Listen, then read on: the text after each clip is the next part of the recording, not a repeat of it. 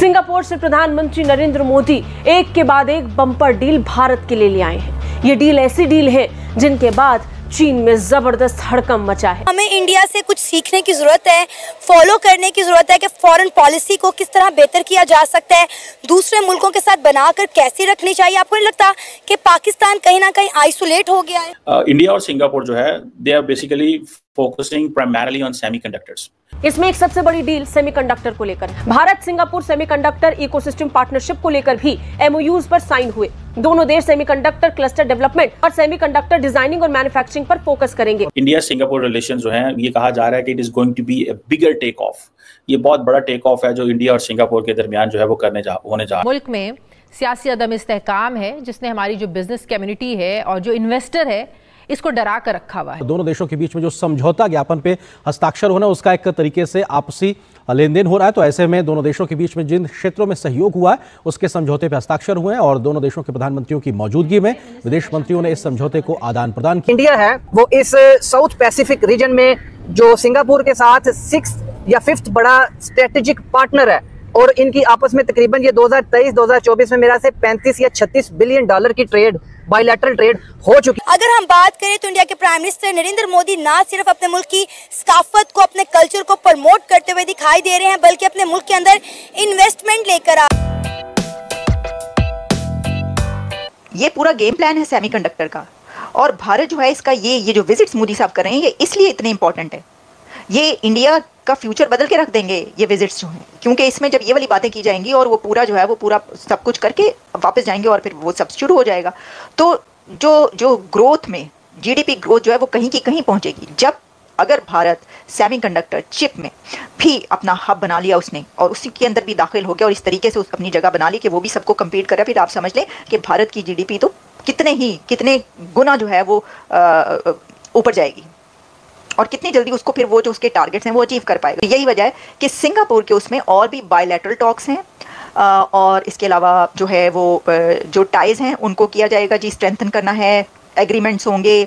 लेकिन इसमें semi conductor chip की जो है वो भी बात है।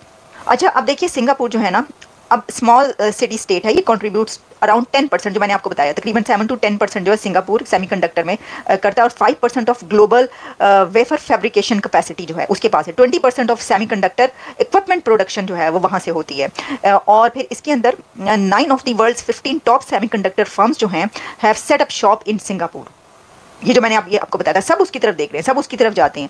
तो दुनिया की nine of the world fifteen top semiconductor firms जो है वो वहाँ पर बना चुकी हैं अपना। तो मतलब ये तो देर हो गई ना। भारत को तो फौरी तौर पर जो उसके टारगेट्स हैं, उनको अचीव करने के लिए तो वहाँ पर जाना चाहिए था तो वो वहाँ पर गए हैं अब। अब इसमें यह भी है कि 1960 यूएस चिप मेकर्स जो है looking for low labour cost with sufficiently skilled workforce started to offshore parts of their production process to South East Asia including Singapore और इसके अंदर मैं ये भी देख रही थी कि अगर मैं आपके ऊपर इसके ऊपर अभी अमेरिका के सेमीकंडक्टर पे उनके, इनके गेम प्लान पे बात करना शुरू करूँ तो इन्होंने भी बहुत कुछ अनाउंस कर रखा है। वो एक अलग ही गेम प्लान है जब आप देखेंगे।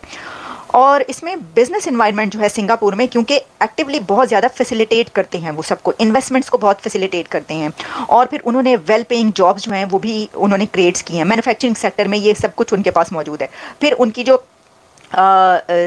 और भी जो इकोनॉमी है, वो बेहतरीन है, यानी आप पासपोर्ट तो बहुत ही ज़बरदस्त है ना, उनका वो तो आप जानते हैं आपको पता ही है। तो ये जो है ना infrastructure connectivity stable business condition critical mass of leading companies ये सब कुछ मैं ये बताता है कि जो value chain from design warfare ये जो खासतौर पर इसको सेमी चिप सेमी कंडक्टर जो है चिप ये बहुत बेहतरीन इंडिया को सिंगापुर से मिल सकता है और यही वजह है कि इंडिया इस वक्त सिंगापुर में उसके प्राइम मिनिस्टर मौजूद तो आप ये देख लें, मैंने आपको इस हवाले से बताया है कि इसके अलावा भी ये अभी ख़त्म नहीं हो रहा। अभी तो आपको पता है कि मोदी साहब ने अमेरिका आना है और फिर बल्कि रशिया जाना है ब्रिक्स के लिए, फिर अमरीका आना है और फिर उनके ये विजिट्स अब इस पूरे साल में चलते हैं। अगर आपको वीडियो पसंद आया हो तो लाइक करें, अपने दोस्तों के साथ शेयर करें और ऐसे और वीडियोस देखने के लिए चैनल को सब्सक्राइब ज़रूर करें। साथ ही बेल आइकन को दबाएँ ताकि आपको न्यू वीडियोस का नोटिफिकेशन आपको सबसे पहले मिले। धन्यवाद जय हिंद। अगर हम बात करें तो इंडिया के प्राइम मिनिस्टर नरेंद्र मोदी ना सिर्फ़ अपने मुल्क की सकाफत को, अपने कल्चर को प्रमोट करते हुए दिखाई दे रहे हैं, बल्कि अपने मुल्क के अंदर इन्वेस्टमेंट लेकर आ रहे हैं। हमने देखा कि बरनोई में जाके उन्होंने स्पेस साइंस पर बात की और अब सिंगापुर में वो सेमीकंडक्टर पर बात कर रहे हैं। वो चाह रहे हैं कि इंडिया जो है, अब वो सेमीकंडक्टर चिप के हवाले से किसी का मोहताज ना रहे। क्या कहना चाहेंगे अब जिस तरह इंडिया के प्राइम मिनिस्टर नरेंद्र मोदी अपने मुल्क का स्टेटस मजीद अपग्रेड करने में लगे हुए हैं? देखें अगर मैं अनबाइस होकर बात करूँ तो डेफिनेटली नरेंद्र मोदी सिर्फ़ इसलिए वोट नहीं हासिल कर रहे to the Hindutva thing he is delivering to the people लोगों के पास बेंगलुरु, जो आईटी हब बना दैट वाज हिम देन उसके बाद अब वो सेमी कंडक्टर चिप एप्पल का वहाँ पे बकायदा मैन्युफैक्चर हो रहा है। इसका रीज़न ये है कि जब तक आवाम को डिलीवर नहीं होगा, आपको वोट नहीं मिलेंगे। वहाँ पे ये चीज़ थोड़ी है जो हमारे यहाँ धांधली के बाद चलते हैं। He is doing a great job और we should learn from him this is out could be और वो अपने डाइवर्स कल्चर को लेकर चलते हैं। यहाँ तो मामला आपको पता ही है। तो की thing is that he is to be learn from अगर हम अनबाइज होकर सोचें तो एक मिसाल के तौर पर हम उनको इस्तेमाल कर सकते हैं कि किस तरीके से उन्होंने आवाम को डिलीवर किया, अपने मुल्क के लिए ज़र मुबादला ला रहे हैं और उसको एक आला मुकाम पर पहुँचा रहे हैं। सिर्फ़ आला मुकाम से ये नहीं होता, हमने ये धमाका कर लिया, हमने वो मिज़ाइल चला लिए। They are delivering to the people और जो लोगों को जब रोज़गार मिलता है नेचुरली वोट फिर उसके पास जाता है and he is doing great job we should आपको लगता है कि पाकिस्तान के प्राइम मिनिस्टर कभी किसी मुल्क में जाके इस तरह बातचीत या डीलिंग कर सकते हैं कि भाई आप आए और हमारे मुल्क में आके सेमीकंडक्टर की फैक्ट्रीज लगाएँ?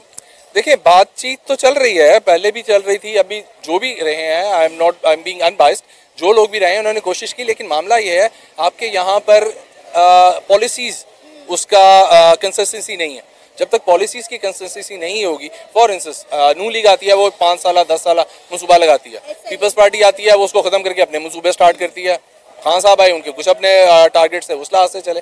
जब तक आपकी पॉलिसीज़ आवाम के साथ नहीं होंगी अपने मुल्क के साथ नहीं होंगी जिस तरह मोदी की है आप डिलीवर नहीं कर सकते आप हासिल नहीं कर सकते वो मुकाम। आई रिमेंबर इट वॉज़ शहीद मोहतरमा बेनज़ीर भुट्टो सेट के अब जो आगे that was way back in the nineties she set के आगे जो मामला है, वहाँ पे आपको धमाकों से या फौजी ताकत से नहीं आपको मिलता, एक मुकाम आपको मुकाम मिलता है ताकत से।